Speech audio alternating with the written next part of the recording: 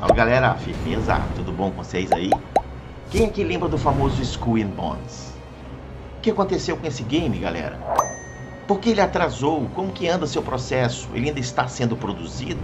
As ideias originais do jogo continuam a mesma?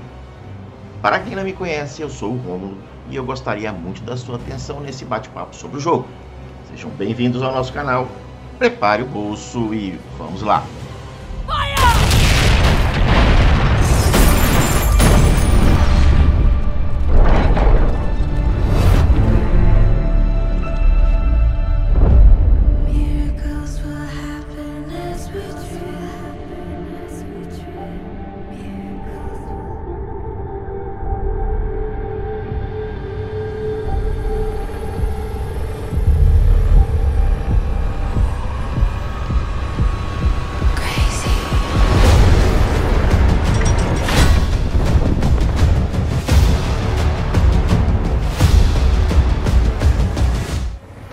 Em uma apresentação dos resultados financeiros no dia 17 do 2, galera, o chefe financeiro da Ubisoft, Frederic Duguet, revelou que Skull and Bones está indo muito bem no desenvolvimento.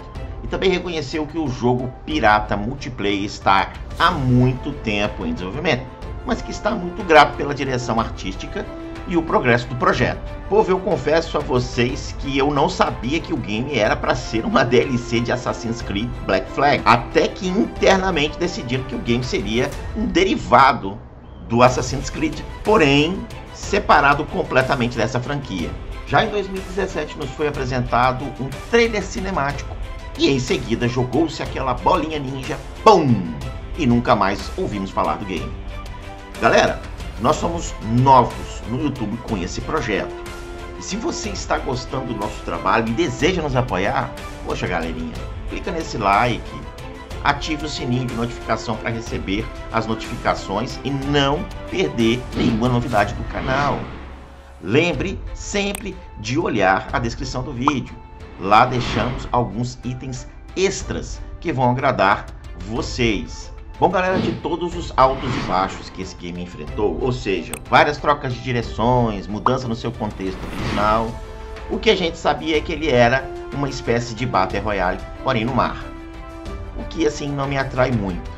E agora, segundo informações vazadas por Tom Henderson, que é um famoso aí informante da indústria de games, a gente sabe que ele virou um game focado em exploração e sobrevivência, o que me atrai muito mais, segundo a minha opinião, tá galera?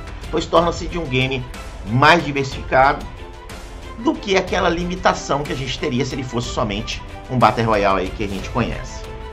Uma outra coisa que a Ubisoft disse é que planeja lançar o jogo entre abril de 2020 e abril de 2023. Desculpa, abril de 2022, tá? Tô ficando doido aqui. Para você que não tem ideia do que a gente está falando, de que jogo é esse, Skull and Bones é um game de mundo aberto de exploração naval, onde você irá explorar ilhas, além de outros lugares, atrás de tesouros e conquistas territoriais. Ele terá uma jogabilidade em terceira pessoa e tudo poderá ser customizado e melhorado. E parece que teremos uma árvore de habilidade também além da parte cooperativa do jogo ser bastante promissor. Eu até imaginei ele como se fosse um Sea of Thieves, é um joguinho que meu filho joga pra caramba no Xbox. Porém, muito mais realista, onde cada tripulante tem a sua determinada função e deverá executá-la.